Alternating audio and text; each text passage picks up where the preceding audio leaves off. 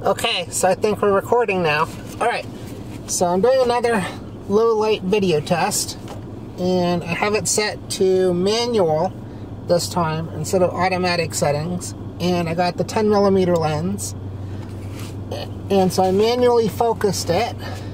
And according to my depth of field calculations, everything should be in focus at least 10 feet or so from the car. Um, so we're going to try this. And again, I have it on manual video. So it's set to f4.5 at 25 FPS. But ISO auto, I might have to switch this to automatic. Hold on. Let's stop this and fix this.